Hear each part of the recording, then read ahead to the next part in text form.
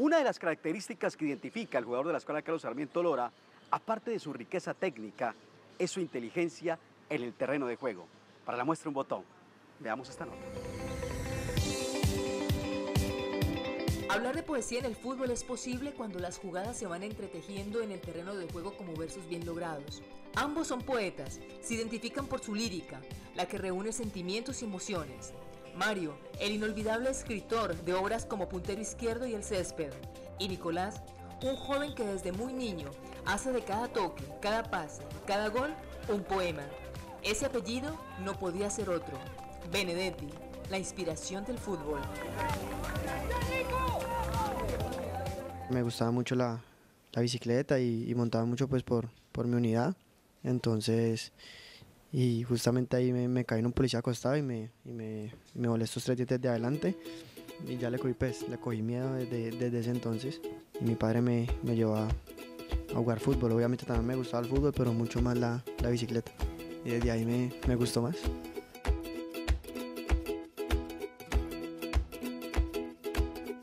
de los primeros equipos que tuve en Estrellas del Norte cuando era muy niño y, y teníamos torneos en, en, La Troja y gané mi primer trofeo de goleador. Entonces es algo chévere que desde niño.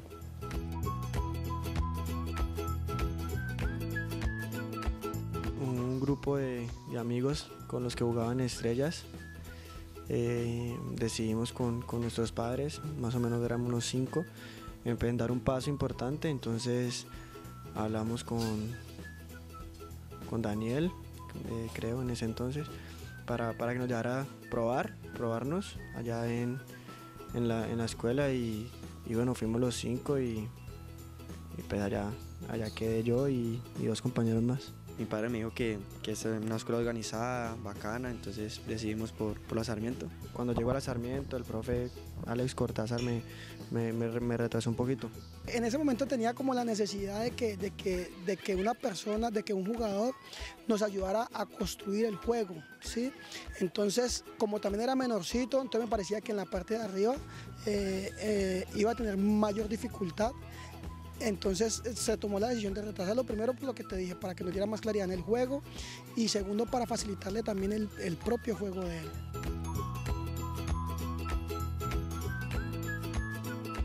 Por acá estuve con, Lilo y con, César Hernández, con Leo, fue Moreno. Y pues con, Alexander Cortázar que, pienso que, fue el que más me, me dejó, pienso que fue el técnico que que, me respaldó, entonces por ahí, por ahí siento una, afinidad con él. Darle mucho cariño, darle mucho amor, estar muy pendiente de, su parte personal y ayudándole en la cancha para que ese talento que siempre mostró eh, se potencializara cada vez más.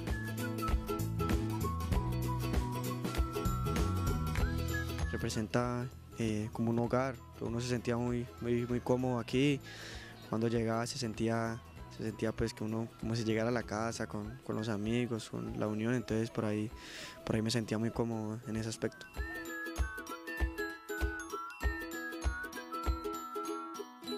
Verlo, verlo jugar, verlo disfrutar, verlo como hace esto como si fuera una cosa muy nata. Mi papá ha sido muy importante para, mi carrera.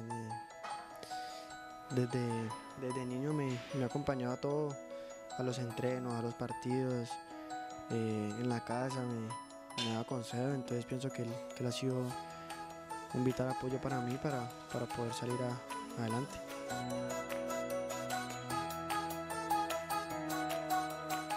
Dios tiene cosas preparadas para uno.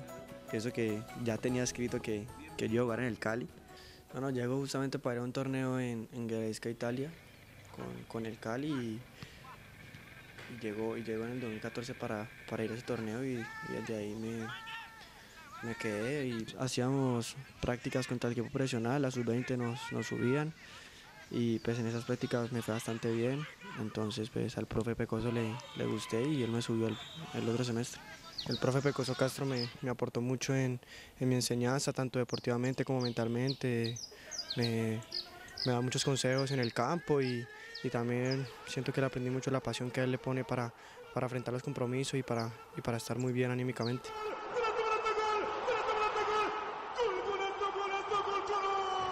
Tres días después del debut eh, jugamos contra Equidad en Bogotá.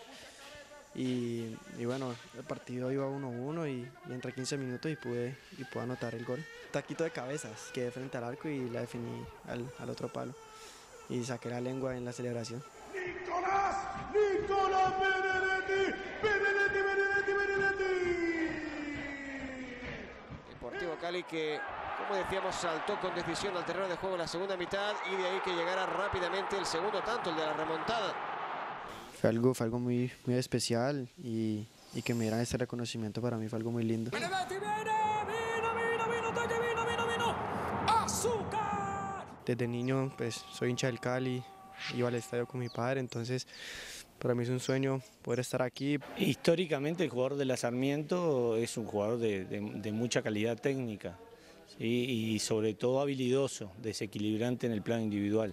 Mi amiga, la que siempre me, me atendía cuando terminaba el entreno y me comía un chontaduro, que son muy deliciosos, entonces nada, muy, esto me, hacía, me hace sentir muy, muy especial poder volverla a ver y, y estar aquí con ella.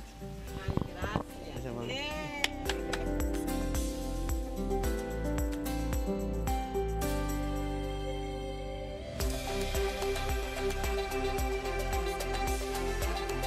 Benedetti es muy, nos da mucho ejemplo a nosotros porque es una persona muy humilde, eh, juega bien, entonces para mí es un ejemplar muy bueno que nosotros queremos ser como él y llegar a las metas que él ha llegado. Se ha destacado mucho en el Cali y uno quiere seguir el mismo ejemplo.